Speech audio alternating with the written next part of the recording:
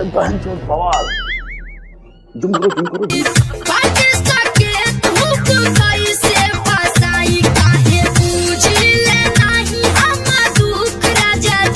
रुकिए मैं फंसा देता हूँ।